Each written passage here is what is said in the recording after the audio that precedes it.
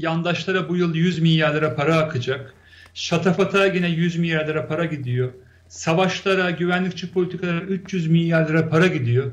Bizim bu önerimizle yalnızca 2022 yılı boyunca bütçeden 70 milyar TL'den vazgeçersek e, mazotu ve benzini tüm yurttaşlarımıza e, kademesiz ve ötevesiz sağlayabiliyoruz.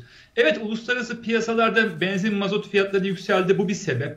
Ama temel sebep enflasyonda çok ciddi bir atak var ve iktidar maalesef yangına benzin döküyor. Bu yangına benzin dökme meselesinden kurtulamazsak ülke bir enflasyon sarmalı içinde.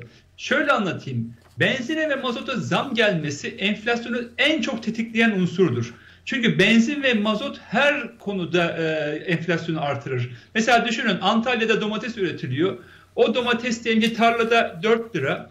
Bir kamyon domatesin Ankara'dan İstanbul'a gelme maliyeti kilo başına 1 lirayken şimdi 2 liraya 3 liraya çıkmış durumda. Bu yüzden İstanbul'da domates maliyeti 10 liraya 15 liraya çıkabiliyor patlıcan kabak. Veya e, benzin ve mazot maliyetleri ulaşım maliyetlerini artırıyor. Taksici zam istiyor şu anda. Minibüsçü zam istiyor. Ee, özel halk otobüslerinde gördük zam istiyor. Çiftçi tarlasını süremiyor mesela şu anda. Sürmeye kalksa daha büyük bir maliyetle karşı karşıya kalıyor ve zamları artırıyor. Bu açıdan biz HDP olarak şunu önerdik. Dedik ki şu anda 3 ay 6 ay önce 7 lira olan mazot 23 liraya çıkmış durumda. Yine 7,5 lira olan benzin 21 liraya çıkmış durumda. Bu fiyatları nasıl düşürebiliriz? Evet e, şu anda kurlar yüksek. Uluslararası piyasalarda be, e, Brent petrol yüksek. Ama bunun içinde hem benzinde hem mazot fiyatlarının içinde 6-6,5 lira KDV artı ÖTV var. Bunu kaldırabiliriz ve az önce söylediğim gibi kaynakta mümkün. Yani yandaşlara 5 yandaş müteahhite olağanüstü durum var arkadaş ben bu yıl ödemiyorum sana derseniz 5 yandaş müteahhite bir kenara koyarsınız 84 milyon yurttaşı kurtarırsınız ve böylece KDV ve ÖTV'yi e, kaldırırsınız. Şöyle olur bunun sonucunda 23 lira olan mazot hemen 16,5 liraya düşer. 21 e, lira 20 lira olan benzinde 14 14 14,5 lira düşer. Yurttaşlarımız en azından bir nefes alır diyoruz. Bu mümkün. Bu kanun teklifimizin yasalaşması için ulaşacağız. Evet. Şöyle söyleyeyim. Yurttaşlarımızın gücüne göre zam yapabilirsiniz. Şimdi diyor ki Almanya'da da yüksek arkadaş diyor. Ya Almanya'da şu anda ortalama ücret 4000 euro. 4000 euroyu şu anda 16 lira çarptınız 64 bin lira yapar. Türkiye'de ise ortalama ücret 6 bin lira yalnızca. 6 bin lira düşünebiliyor musunuz? Almanya'daki bir e, işçinin onda biri kadar bir gelire tekabül ediyor ve Türkiye'deki yurttaşlarımız yalnızca karnını doyurabiliyor. Ve benzin ve mazot zamları da bu açıdan yurttaşlarımızı e, canından bezdirmiş durumda. Çiftçiler tarlasını ekemiyor, kamyoncular e, kamyonunu süremiyor. Bunun için derhal kamu bütçesini bu anlamda değiştirmeliyiz. Yani tercihi değiştirmeliyiz. Halktan yana tercihleri ortaya koymalıyız.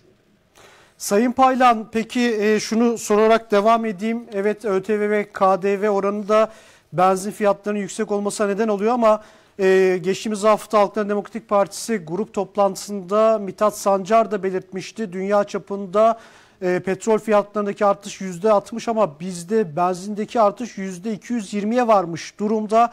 E, bu farkı nasıl değerlendiriyorsunuz? Neden, nereden kaynaklanıyor bu fark? Şöyle söyleyeyim yüzde 60 evet e, e, dolar dolarda e, Brent petrolde artış var uluslararası piyasalarda ama Türkiye'de büyük bir devalüasyon yaşadık biliyorsunuz. Yani. Erdoğan anlayacağı Ekim ayında dolar 8,5-9 lirayken faiz sebep enflasyon sonuç dedi ve bunun sonucunda dolar 18 liraya kadar yükseldi. Şu anda da 14,5 lira. Yani yaklaşık %70 de bir kur artışı var. Yani %70'lik kur artışı %60'lık da e, uluslararası piyasalarda petrol fiyatlarındaki artış ama yine tutmuyor. Yine bunun üzerinde bir zamla karşı karşıyayız. Bu açıdan bu zamların derhal durdurulması gerekir. Yapılması gereken zamları durdurmalıyız. Kamu bütçesini bu anlamda zor, zorlamalıyız. Yani elektrikte, doğalgazda, benzinde, mazotta yani temel ihtiyaç olan unsurlarda kamu bütçesini zorlamalıyız ama bunun için de elbette bir gelirden vazgeç, bir giderden vazgeçmeniz gerekiyor. Yani evet. savaşlardan vazgeçirsek, daha barışçı politikalar, yandaşlardan vazgeçersek, saraylardan vazgeçersek bunların mümkün olduğunu söylüyoruz. Böylece enflasyon canavarına durdurabiliriz. Aksi takdirde benim bir kaygım var Fuat Bey.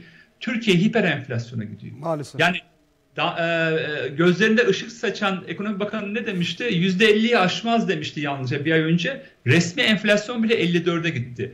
Benim tahminim resmi enflasyon %80-90'lara doğru gidiyor şu anda. Çok yakın bir vadede bir iki ay içinde bunu göreceğiz. Evet. Halkın enflasyonu zaten yüzde yüzde o da yüzde iki yüze doğru gidiyor. Bu ne demektir? Enflasyon canavarının her gün soframızdaki ekmeği alması demektir. Alım gücünümüzü düşürmesi demektir. Büyük bir yoksulluk sarmalına doğru gidiyoruz ve şu var enflasyon durmadığı sürece de kimse geleceğini göremiyor. E, yatırımcı yatırım yapamıyor. Üretim yapamıyor. Üretim olmayınca ne oluyor? Durgunluğa giriyor ekonomi, işsizliğe gidiyor. Yani bir stagflasyon riskiyle karşı karşıyayız. Bunu durdurmanın tek bir yolu fiyat istikrarını sağlamak. Bu açıdan da verdiğimiz kanun teklifi bence hayatı önemli. Derhal bu kanunun kanunlaşması ve çiftçinin, efendim e, taksicinin, kamyoncunun, e, minibüs esnafının, otobüs esnafının nefes alacağı bir noktaya getirmemiz lazım. Böylece zamlar da gerilebilir ama bu yetmez. Onu evet. da söyleyeyim Fuat Bey. Kur garantili faizden vazgeçmeleri gerekir.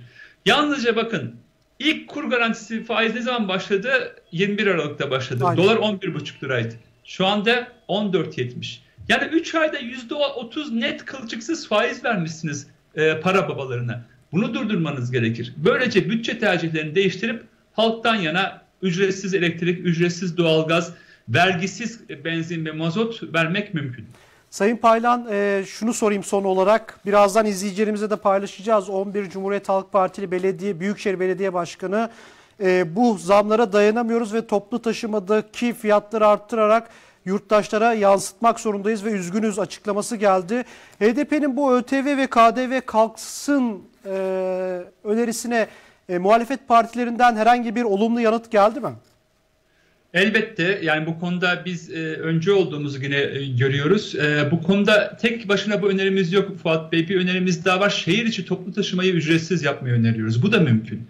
Yani çünkü belediyelerin para basma aleti yok. Yani merkezi hükümetin var. Ne yapıyor? Para basıyor, enflasyon yaratıyor ama merkezi yerel yönetimlerin bir para basma yetkisi yok. Ne oluyor? Mazot fiyatı yükseldikçe otobüs ücretlerine zam yapıyor.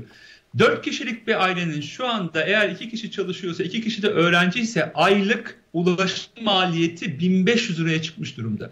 Bu korkunç bir rakam. Biz ne diyoruz? Gelin kamu bütçesinden yalnızca 40 milyar lira ayırarak hani az önce demiştim ya 5 yandaşa 100 milyar lira gidiyor.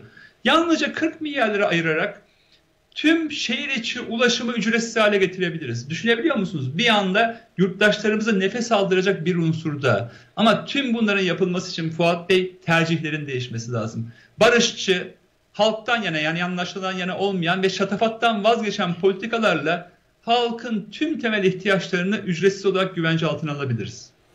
Evet akaryakıttaki son zamları ve Halkların Demokratik Partisi'nin akaryakıtta ÖTV ve KDV kaldırılsın önerisini Halkların Demokratik Partisi eş genel başkan yardımcısı Sayın Garo Paylan'la değerlendirdik. Sayın Paylan yayınımıza katıldığınız için çok teşekkür ediyorum. Ben teşekkür ederim Fuat Bey. İyi yayınlar. Sağ olun. Evet Sayın Paylan da altını çizdi aslında söz konusu akaryakıttaki artış olduğunu